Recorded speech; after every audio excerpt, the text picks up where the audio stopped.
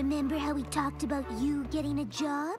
It was just yesterday, and it's totally on my to-do list, but you can't expect me to find something befitting my awesomeness overnight. I thought you might say that.